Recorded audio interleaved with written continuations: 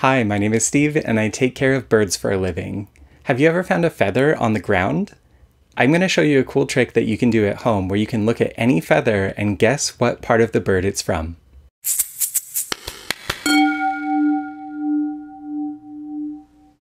All feathers are made from the same protein, and they all grow out of feather follicles in the bird's skin.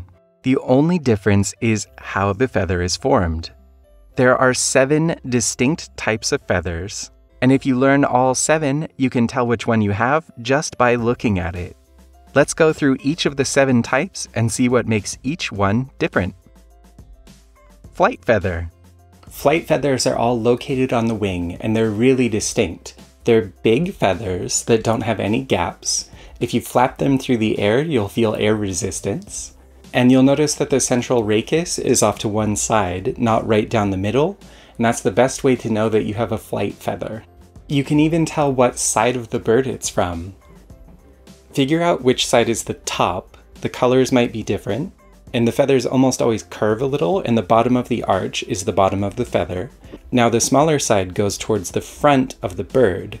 Turn your feather so the smaller side is forwards. Now you know which wing the flight feather came from. Flight feathers have lots and lots of links between the barbs, which is how they keep their shape and keep air from passing through the feather. So these feathers are light and strong enough to push air and keep the bird up in the sky. Tail feather. Tail feathers look a lot like flight feathers. They're big and they're solid feathers that don't let air pass through. But if you look at the central rachis, you'll notice that it's more towards the center. Most birds have 12 tail feathers. The center feathers are even on both sides, and they get more asymmetrical as you move outwards. Tail feathers are used for steering in flight, but some tail feathers, like those of a pheasant, are used primarily for display. Contour feather. Contour feathers are the vast majority of feathers that you see. Contour feathers have a tightly linked top that blocks air and a fuzzy lower part that lets air pass through.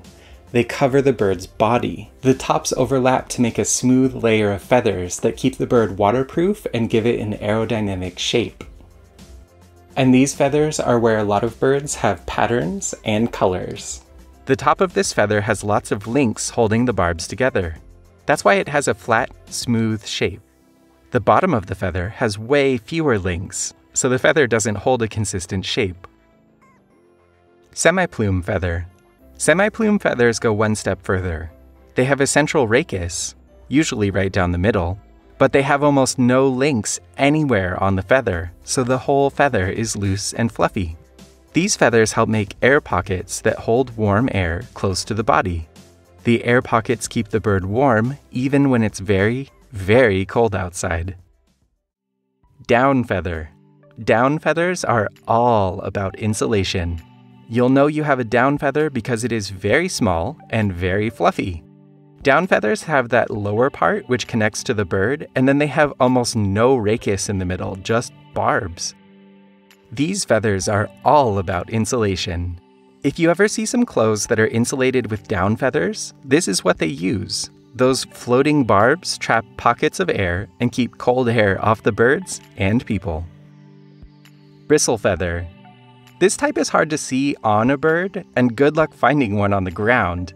Bristle feathers are just the central rachis with no barbs. It's still a feather. It grows out of a feather follicle, and it looks like a whisker or hair, but birds don't have any hair. It's all feathers, and in this case, bristle feathers. A place I see bristle feathers is around the nostrils of a macaw. These probably keep dirt and debris out of the bird's nose, just like hairs would in mammals. Filoplume. Filoplume feathers are hard to see on birds, but nearly every part of every bird species has at least one filoplume feather. They're like a bristle with a tuft at the end. They're short and sit between other feathers. Nobody knows exactly what they do, but they seem to be used to sense feather position and if any feathers are missing. So let's give this a test. What type of feather is this? This is a flight feather. It's big, curved, and the rachis is off to one side. This is also a feather from the left side. And what type is this? This is a contour feather. It would cover the body of the bird and give it a smooth shape. Thanks for learning about birds today. You can watch another video on this channel and you can subscribe to know when a new video comes out. Thanks for stopping by this week to learn what makes life awesome.